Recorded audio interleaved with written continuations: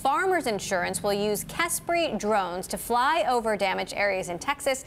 This will leverage their highly accurate imaging technology to capture video images and use analytics to analyze the footage and provide reports from the farmers' claims adjusters. For more on this partnership and how the drone industry is helping Houston's Harvey victims, we're joined now by Kespry CEO George Matthews. So, George, first of all, tell us exactly how this is all going to work.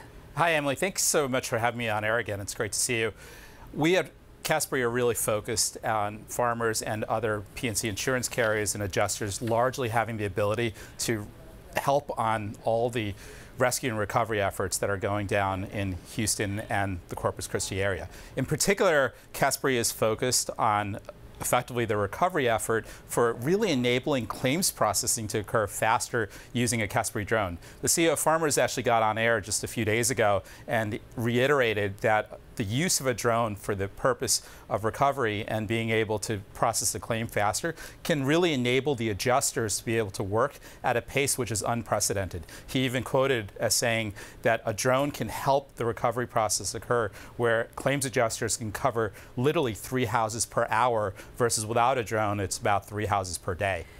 Right. Without a drone, they're using ladders, they're using ropes, they're using harnesses. I know that a lot of the regulatory issues, some of these waivers are being passed out right now. I mean, what is the status on uh, when the drones are going to be out there at work? Yeah, so great question. So drones are actually flying as we speak. Okay. Most of those drones were flying regarding the rescue effort for the last few days. Our Kespry drones are actually now in air related to recovery. So we have our customers using drones as we speak, our drones in particular, to aid in the recovery effort as of this past day.